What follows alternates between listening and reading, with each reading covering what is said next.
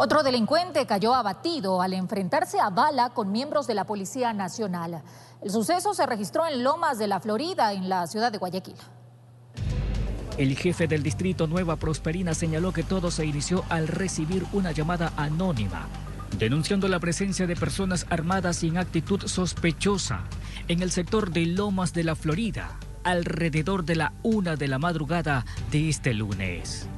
Cuatro agentes motorizados avanzaron para verificar, pero cuando llegaron extrañamente, sujetos empezaron a disparar en contra de ellos desde las partes altas de las viviendas y de las avenidas.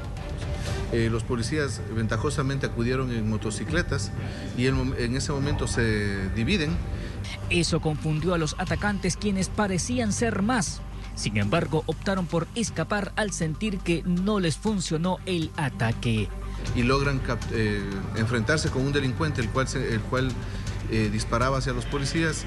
Los policías proceden a disparar, él trata de huir y en su huida lo capturan y se percatan que está con un impacto de bala. Es trasladado al hospital de Monte Sinaí, donde recibe la atención médica y en una hora de atención después fallece.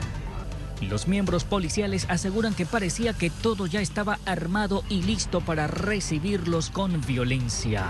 Y lo que estamos en este momento es indagando si se trataba de una emboscada planificada en contra de los servidores policiales o fue eh, que nosotros llegamos y, ellos pudieron, trataron de huir del accionar policial.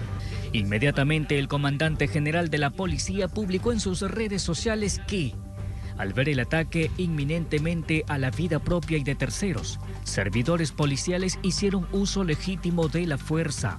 De su parte, el ministro del Interior también destacó que, ante amenazas letales, respuestas letales.